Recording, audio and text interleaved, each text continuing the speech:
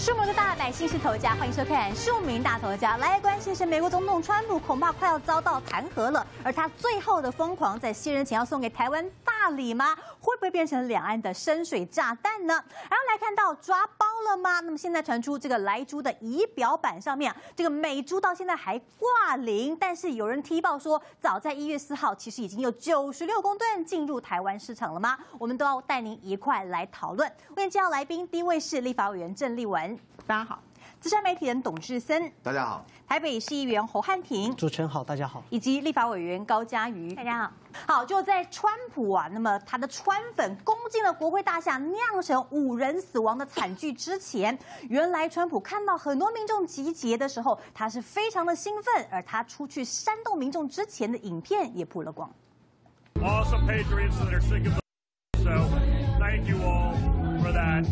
一月六号，国会暴乱发生前，川普和家人听着音乐，看着荧幕画面中的大批川粉涌上街头的景象，似乎非常满意。小唐的女友更对着镜头跳起舞来。这一家人似乎把撕裂美国社会当成喜事般庆祝。这一幕也和后来酿成无死的国会暴乱冲突形成强烈对比。Some Republican members of Congress say they will consider voting to impeach President Trump. 川普煽动暴力的行为，连同党议员也看不下去，表态力挺弹劾。民调显示，近六成的美国民众要川普立刻下台。Sadly, the person who's running the executive branch is a deranged, unhinged, dangerous. President of the United States。众院议长佩洛西近来动作频频，先是提出宪法二十五条修正案，允许副总统或内阁官员提交书面证明撤除总统职务，但显然彭斯对此没有兴趣，于是佩洛西转向，最快下周一启动弹劾川普程序。好，事实上，当川粉冲进国会之后啊，留下来的现场是一团混乱啊。我们来看一下，这个人他被大家肉搜出来，叫做巴奈特啊。哇，他冲进去之后呢，大拉拉坐在佩洛西的这个椅子上面，还翘脚呢。而这些人呢，是把佩洛西演讲的讲桌、讲台也给搬走了吗？再来看到，这是佩洛西的私人信件被拿在手上来把玩呐。好，但是我们可以看到呢，整个桌子上空荡荡的，佩洛西的笔电到哪里去了呢？哇，这笔电如果是被川粉给带走的话，恐怕逮起就断掉了。因为呢，里面可能会有呢这个佩洛西呢，他们这个民主党呢很重要的一些政党的文件啦、会议的记录啦，这流出去的后果会不会比这个我们总统府五月份的时候流出来的这个密件，这个后果还要更加的严重呢？好，我们来看到很多人就联想起了过去了，行政院的大门呐，当时太阳花的时候呢，就被这些学运人士啊给整个都拆掉了呢。好，我们来看到。这个甚至是有人呢冲进去之后呢，在行政院的贵宾室里面拿着行政院的杯子喝茶，开心的打卡。他说：“安安，大家好，我们看起来像报名吗？”好，来看到甚至是呢跑进去之后呢，把人家的沙发椅拆到只剩下椅垫而已啊。好，肖佳琪说他的太阳饼被吃到只剩下一盒，甚至是行政院里面很多人还发现说：“哎呦，有零钱短失，难道也是被学院的人给拿走了吗？”好，不过我们看到这样的情况呢，很多人就说。啊，是不是背后其实川普根本就是在煽动他的支持者呢？我们要请教一下董哥，你可以看到刚刚这个川普的一个最新的画面曝光了，他要出去煽动他的支持者之前呢，其实他心里是非常兴奋的，完全和后来的五人死亡有非常严重的一个对比哦。但到现在，民进党政府还是不敢谴责，哎，所以到底是在挺美国还是在挺川普啊？其实我们看到现在民进党政府哦，他碰到这情况，让大家想起的就是太阳花。哦，那太阳花那时候占领立法院，又攻进行政院，大家可以看到那时候谴责的人很少啊。台湾是一个完全民粹的。后来呢，太阳花这一套手法又被用到香港的反送中。反送中这些人在街头上烧杀掳掠，哦，甚至还用砖头砸死人呐。他其实看到了行径，哦，美国、欧洲这些先进国家没有人谴责。然后最后他们攻进了立法会，进入立法会以后，美国众议院的议长佩洛西说，他看到最美丽的风景。我们欢迎美国有更多这种美丽的风景，啊，最好。所有地方的州议会全部被攻占。大家来看呐，你今天碰到的情况，其实是一个最大笑话。美国现在变成让大家非议和看不起的国家，为什么会变这样？因为选错了一个总统。他们选错总统只选错一次，我们已经选错两次了。那看到了这些作为，民进党现在不敢讲话。民进党过去鼓励太阳花是怎么鼓励？他们在立法院让这太阳花进去以后，帮他们守门，然后甚至要带一些国际的媒体进去，还跟警察吵架，甚至还出手打警察。哦，这个人是林黛华议员，后来法院判无罪。哦，因为他说这个叫做言论免责权，什么法官会做这样的判决？大家其实心里都很明白，我们的司法，然后跟民进党这样搭配啊。那现在民进党碰到了美国国会这个事情，他已经让大家看破手脚了。原来过去挺你的美国，他其实挺的就是你们这些民粹的啊台独。我们看到了这些情况，大家会觉得这样的类比好不好？当然很正确的。我们也看到什么叫做暴力，全世界都不会同意这样的行为啊。当川普还在鼓励的时候，啊，很多人已经觉得不对。等这些暴徒进去的时候，大家都来谴责，然后各国哦，大家的行径其实都是变得很正常了，变成很理性了。那当当年去太阳花的时候，你们为什么没有谴责？当进入香港立法会的时候，你们为什么是鼓励？我们已经看清欧美这些国家的伪君子，他们的虚伪。可是我们更看到蔡政府哦，他的虚伪更是不可想象啊。他现在不敢随着这些先进国家去指责，然后也不晓得怎么去讲美国这件事情，因为这些年来他受到川普的好处很多，川普甚至帮他赢得了二零二零年的选举。那蔡英文啊，现在真的，一则以喜，一则以忧，保护他的人下台了，下台之前还有很多回马枪，包括这两天的联合国大使。哦，又要来访了。那这些其实都没有很正当的理由。可是今天民进党碰到了，他该偿还的就要还。民进党偿还的除了美猪，民进党偿还的除了金火，接下来是不是还有煤炭？那我们大家都在睁着眼睛看了。嗯哼，好，所以接下来到底还会怎么发展，让大家都觉得很担忧啊！但是眼看川普马上要被弹劾了，他的困兽之斗是不是接下来无力回天呢？但最后还要丢一个深水炸弹送台湾吗？蓬佩奥宣布要解除和台湾交往的限制，立文啊，这到底是爱还是伤害？不过我想，当然他们在做最后的困兽之斗，但是离一月二十号交接已剩下没有几天了。这中间杀出来这个国会的暴动，其实让川普深受重伤。他本来还得意洋洋，大家看到之前的报道，他还在那边鼓动他们。结果没有想到，当国会暴动非常的严重，一发不可收拾的时候，川普马上龟缩，而且马上划清界限。在事情事发之后，他也立即承认自己的败选，接受拜登的当选。换句话说，川普是灰头土脸，他已经。认输，否则他很可能会被叛乱罪给被抓起来。但是蓬佩奥还在继续的抗议当中，而且川普的放弃并不代表川粉的放放弃。这些已经非常激情的、非常希希望看到暴动、希望看到美国内部出现战争的川粉，还是继续的在扬言不惜的要来发动内战。我们来看一下川粉的说话。We will storm the government buildings, kill cops, kill security guards, kill federal employees and agents, and demand a recount. Trump or war today. Round two on January 20. I don't even care about keeping Trump in power. I care about war. 所以你看到川普的这样的川粉的这样的谈话，他已经不在乎川普是不是继续能够当总统了，而是要在内美国内部发动战争。这其实依照美国的法律，应该违反了国土安全法。 可以视为恐怖分子，及时的马上把他抓起来就罚。所以说，川普已经龟缩了。但是庞贝奥呢？我们看到呢，过去台湾关系法的规定，美国的行政部门呢，它呢，台湾跟台湾之间的关系是由我们所熟悉的美国在台协会 A I T 来进行相关的处理的。好，那美国的国务卿庞贝奥呢，他居然在一月九号的时候宣布说，要取消中美。台美断交了以后哦，美台之间的交往限制，这是根据台湾关系法，而里面包括了对台交往准则备忘录里头所规范的，譬如说我们的总统、副总统、国防部长、外交部长、行政院长是不可以到美国访问的，因为他们高度的代表了一个国家的主权。所以记不记得那时候李登辉到美国去访问，到康奈尔去演讲，就带来了一九九六年的台海飞弹危机。好，那但是呢？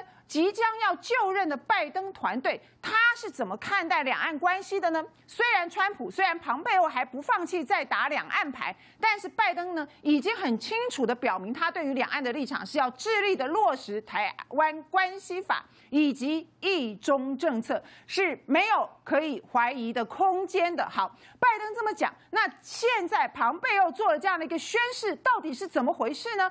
拜登会延续庞佩奥这个国务卿所做的宣布？吗？还是视而不见？所以呢，台湾我们就只爽这十天而已。十天能干嘛呢？好，那这十天当中，蔡英文有可能正式的到美国去访问吗？访问谁呢？访问这个要下台、被全世界臭骂的川普吗？蔡英文能去吗？好，双向员就是我们驻美国的过去我们驻美的大使馆哦，台湾的大使馆有办法升起中华民国的国旗吗？照理讲，肖美琴就应该赶快现在每天升了啊，对不对？不是跟台湾很好吗？其实旁边玩这个干什么？川普如果有诚意的话，就直接跟中华民国复交就好了嘛，不是干嘛还要玩这么多的把戏呢？啊，接下来就像我刚刚说的，难道我们的国防部长、我们的外交部长可以互相来访问吗？大家的问题一一大堆，只剩十天了，到底有没有什么意义呢？拜登会把你当回事吗？还是这是川普做困兽之斗，还是庞贝又想要自己下一次问鼎？白宫所做的铺陈呢？好，我们来看一下美国大家非常熟悉的智库学者葛莱仪，他也发表了他的评论了。葛莱仪就说了，拜登政府是很清楚的肯定不会乐见川普政府最后几天做出这样的政策决定的。好，如果这些限制妨碍了美国拓展符合美国国家利益的关系的话，那。这个川普就说这些哈限制美台之间交往，限制对台湾的这些限制，如果妨害了国家利益，那川普早就应该把它给取消啦。那如果没有的话，川普现在在做什么呢？好，那 A I T 的前处长包道格就说啊，除了短暂的象征性之外啊，对台湾没有任何好处。包道格讲的非常的清楚，没有悬念，这对台湾没有任何的好处，不要想打擦边球。好。老共的反应呢？新华社正式的反应是说：“哎呦，川普你打台湾牌无下限，眼，真是用心歹毒啊！”但是老共真的会呃落入这个圈套吗？造成两岸之间的紧张，甚至于战争，让川普可以延续他的总统命吗？环球时报总编胡锡进啊，这个大家熟悉的大鹰派啊，就说台湾政权末日倒数的计时已经开始了，这是丧心病狂之举啊！旁边有如果敢在任期内反台，哦。那庞贝要不要剩下十天？干脆不要叫那个什么联合国大使来，庞贝要自己来好了啦。哦，如果是这样的话，他说啊，《环球时报》说，解放军的战机会在第一时间飞临台湾上空，用前所未有的方式来宣示大陆对台湾的主权呐。如果台美胆敢做这种过激的反应的话，就很可能会触发战争。好，用战争来恐吓台湾，但问题是说，我相信北京也没有那么的。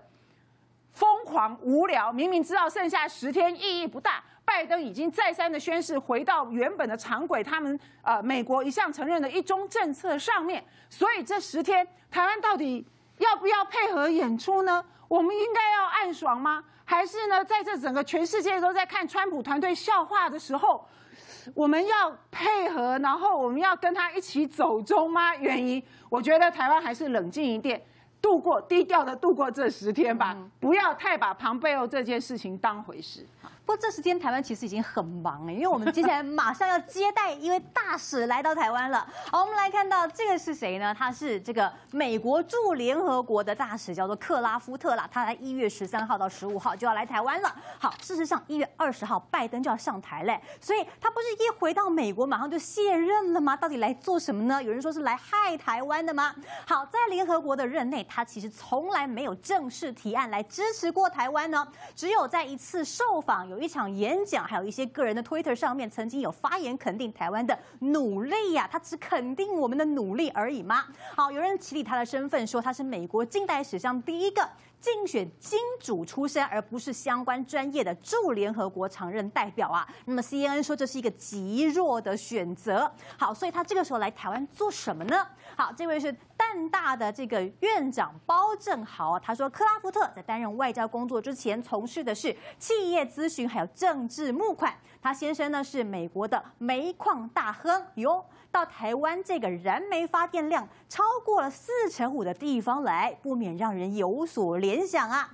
好，林正杰啊，这个绿营以前的过去啊，这个早年的同志啊，现在看起来已经是不同志了哈。美国驻联合国大使来台湾毕业旅行啊，有落地接待，要豁免他的检疫隔离啦。那么我们不买点煤矿，似乎是招待不周啊。那么接着，川普是不是要来卸票了呢？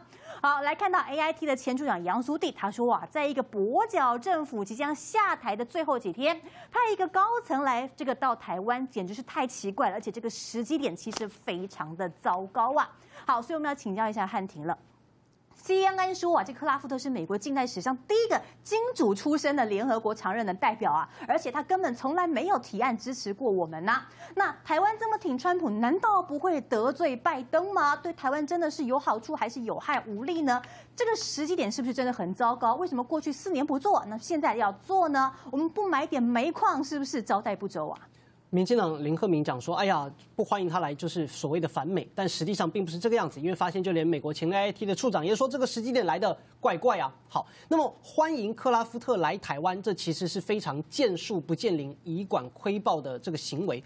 乍看之下似乎对台湾有利，然而实际上完全都不是。大格局来看。”川普在败选之后做的最重要的两件事情，第一个就是为自己捞取更多的政治甚至是金钱上的资本；第二个呢，就是想办法留个烂摊子给拜登来收，也就是挖坑给拜登跳。那尤其是在中美两大关系之间，那川普使了非常多的力气。所以前一阵子哦，他败选理论上是不能够在外交上有任何创新的作为，但川普完全没有在管这些，对支付宝跟微信下了种种的限制，也加强了对大陆的企业的限制，也加强了说大陆的官员不要来。来到美国，那么挑拨香港的关系，分化两岸的关系，所以这一系列的动作，包含解除所谓台美的这个交往限制，都是川普为了要给拜登留下烂摊子，而所谓的扰乱中美关系之间，然后所使出来的一环。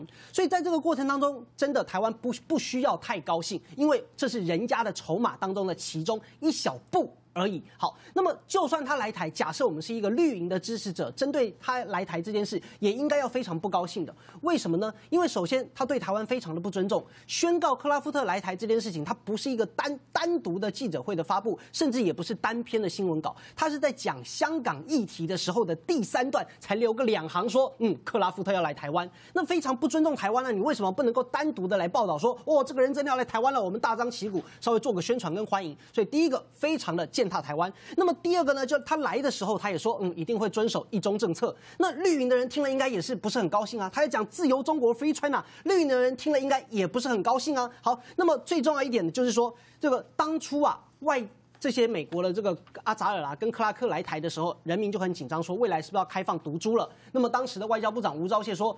绝对不会开放美猪啊！结果呢，大家都知道了。那么这一次克拉夫特来台，那么同样的啊，就是大家又问他是不是我们又要买煤炭了？那吴钊燮最近也表示说，绝对不会买煤炭，你信吗？好，我是觉得不是很能够相信了。好，那么另外至于台美的交往解除限制这件事情，也是华而不实。为什么呢？因为首先只剩十天了，民进党不可能派高官去到美国。那么到底川规会不会败随？这就是川普他对于拜登所下的提高的门槛嘛？我对中国大陆做出了这么多新增的限制啊！我对所谓台湾加了一些友好的这些条件，你如果不跟，那么拜登你就是我选前骂的中共同路人，你就是亲中。好，那么如果你跟了，那么你拜登就是我川普的跟随者，表示我川普领先你，我棋高一注，这是川普的政治算计。好，那么拜登上台之后，虽然他不太可能重新去加上这个限制，但是呢，他完全可以。不邀请台湾的人呢？就虽然我没有禁止你来我家，但是我没有要发邀请函邀请你来我家，对吧？这是完全不同的概念。所以拜登上台，至少在前一年的时候，他完全不会跟民进党有任何官员上的互动。你要来台湾，你要来美国可以，你一样先到别的地方，对吧？不见得要真的来到华府，因为对拜登来说，如果真的立刻邀请民进党的人来到华府，那表示什么？表示我是听特朗普的话，表示我是听蓬佩奥的话，所以高明的拜登必然也不会在这件事情上面。呃，跟随特朗普的脚步，台湾人真的不必太过高兴。嗯哼，好，不过看到了这个川粉冲进国会这件事情啊，台湾很多人在敲碗。敲碗做什么呢？要请一个人出来讲话，在等哪个人出来讲话呢？答案就是林非凡啦。好，所以林非凡呢被堵到，他还是说了几句话。他说，国民党在这个时候啊，去消费美国盟友啊，把川粉的示威拿来跟太阳花学运相比，证明国民党根本就没有办法理解太阳花运动的意义呀，这是不当的类比呀。好，那么听到他说的话之后，很多人是不太以为然了哈。国民党的李德维就骂他说，美国人进去挨子弹，林非凡出来则是零九万。敢问公子有错吗？好，朱学恒说：“我来帮大家翻译一下林非凡说的话到底是什么意思。”他说：“是的，绝对不同。美国入侵国会的热血青年都被抓、被起诉，有的还被打死了。但是呢，连共和党都谴责他们，而我呢，变成了党的样板啦，为党宣传、升官发财，再也不提社会正义呀。”好，那么朱学恒还加码问说：“啊，假设今天呢是前总统马英九，因为莱克多巴胺的表决输给了民进党，率众冲进立法院，难道民进党不会把他给活活打死吗？啊，网友就说啊，最没有资格讲话的人还出来说，看来应该是九万不够用吗？哦，还有人说哇，真的是双标啊！好，在这个时候却传出说啊，难道这个林非凡马上要出来选新竹市长了吗？好，这个叫做韩黑父母不崩溃的这个脸书粉砖就做了梗图了。好说，川粉呢在国会暴动丢工作，因为美国企业就开除了闹事的员工啊。但如果在台湾的话，不止零九万，还可以出来选新竹市长吗？啊，传言林非凡可能会空降。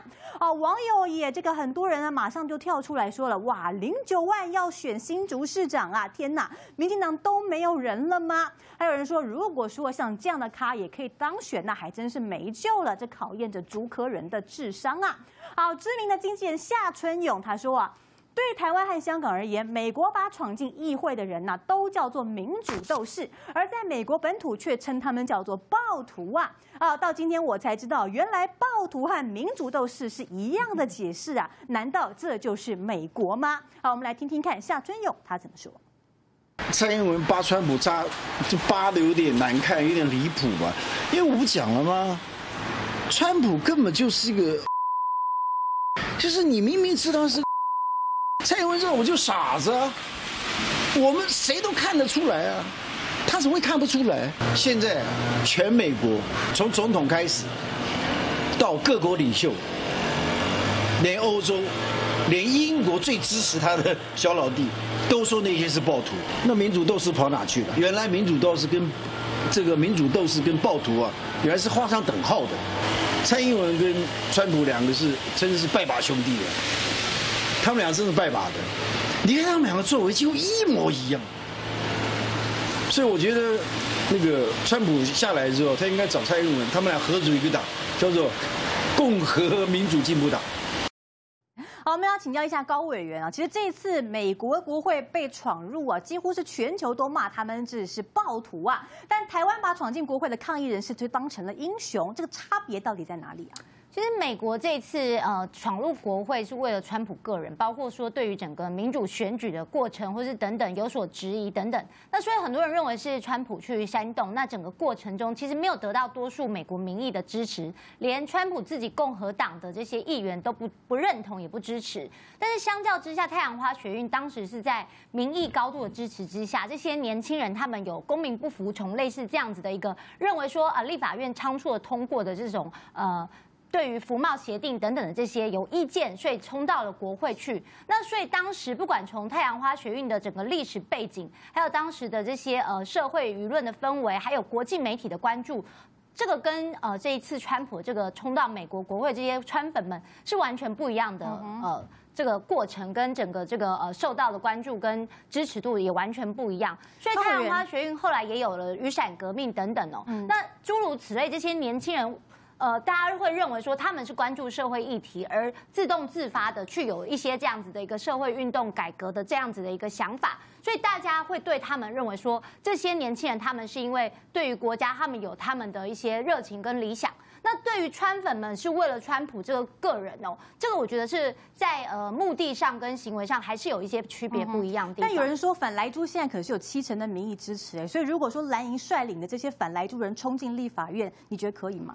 我觉得国民党自己也要去衡量，到底这个来猪的议题，他们如果真的冲到国会，有没有正当性？因为毕竟国民党当初也是支持开放来牛的。那这个东西就是我一直强调说，从国民党到民进党都必须去承担。所以小英总统也说是历任三任总统都要去面对的。那请国人来体谅。所以我觉得国民党自己也会去衡量，如果他为了来猪冲冲到立法院占领国会，有没有正当性？民众会不会支持？因为一度国民党也想要去这个占领立法院外面。的这些呃，就是马路啊等等，然后要开这个夜夜市或者什么，这个后来也是取消了。那我想国民党也是经过一番的考量。嗯哼，立文夏春勇说啊，奇怪，美国这个冲进议会的这些人，现在全球都骂他们是暴徒啦。但是呢，美国当时说啊，台湾议会这个冲进去的这些人是民主斗士，哎，难道说对美国人来说，暴徒和民主斗士其实是同样的意思吗？你怎么看？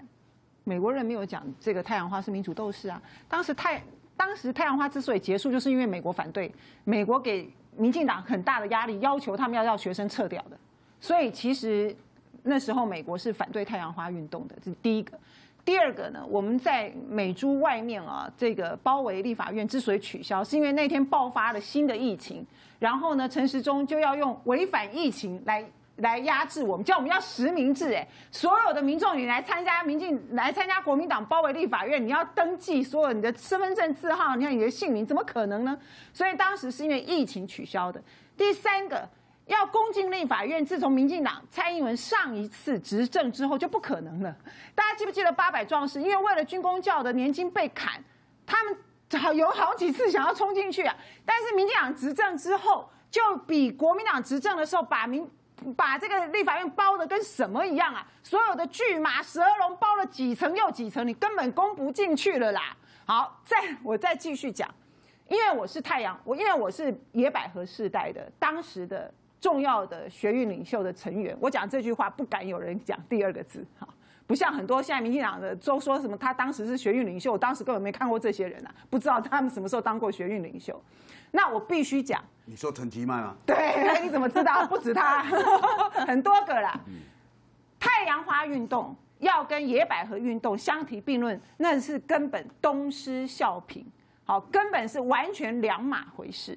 所以当时是在一个威权的时代，要求台湾民主化；但太阳花运动是在一个民主的时代，我给你四个字，叫做无理取闹。然后这一些人。完全搞不清楚东西南北，不知道自己在反什么，就是一个所谓的反中的情绪。然后最后攻入行政院，也是为了这些人看到林非凡占领包围立法院，变成红了，变全台湾最重要的明星之后，另外有人不服气，想要比他们更红，所以才攻进行政院的。也不过就是一个非常丑陋的权力的斗争，就是想年轻人想红而已啊！我觉得美国跟台湾最大的差别。就是美国人，他已经民主了超过两百年，他知道这叫做暴动。而在台湾，包括我们的媒体，包括我们的父母，都觉得只要大学生上街就有正当的理由，错了，错的非常的离谱。太阳花运动对台湾的民主绝对是负面的。我们先休息一下，马上回来。